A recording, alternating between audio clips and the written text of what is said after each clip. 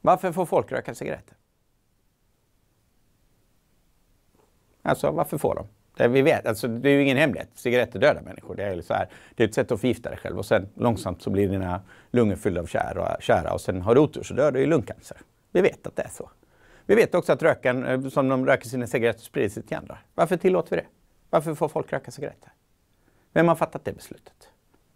Ja, det har ju vi gjort tillsammans. Det är vi. Vi som tycker att det är okej att röka cigaretter. Varför är det okej att röka cigaretter men inte marijuana? Varför, varför är cigaretter en tillåten drog och marijuana inte en tillåten drog? Varför får folk dricka alkohol i det här samhället men inte röka hash? Vem har bestämt det? Vem har gjort den prioriteringen? Ja, det har ju vi gjort tillsammans. Det är ju inga mystiska andra personer, det är inte någonting som de har bestämt. Vi styrs ju inte av utomjordingar. Det är vi som har bestämt det. Varför har vi gjort den prioritering som vi har gjort? Ja, för att vi har kommit fram till att vi tycker att rökning är okej, okay, men marijuana är inte okej. Okay. Vi har kommit fram till att vi tycker att alkohol är okej, okay, men vi tycker inte att hasch är okej.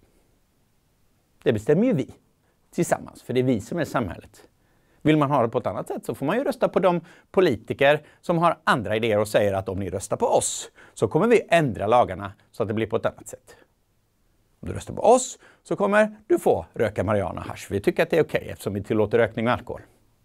Eller så säger en annan politiker, om du röstar på oss så kommer vi förbjuda alkohol och cigaretter också.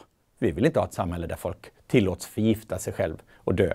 Eller som tillåter människor att, att hamna i missbruk som går ut över andra. Ni bestämmer. För vi är samhället tillsammans.